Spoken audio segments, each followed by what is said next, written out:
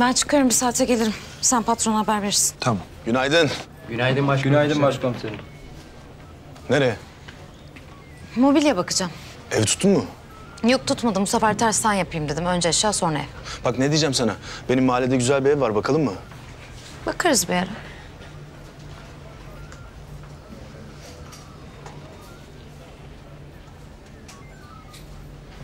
Neyin peşinde bu ya? Pınar'ın kredi kartı ekstrelerini istedi.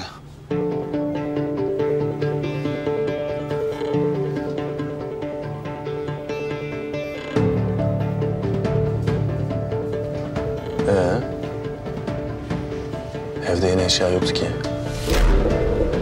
Nereye aldı bunu? Evde bulduğumuz şırıngadan Pelin'in kanı çıktı. Öyle mi? Pelin oradaydı demek. Bu kesinleşti, güzel. E o zaman Ercüment ortada olmadığına göre abisini bir ziyaret edelim. Gerçi bugün yoğundur ama bize vakit ayırır herhalde. Ben de geleyim mi? Yok gerek yok Ahmet'le giderim ben. Ahmet gelsene.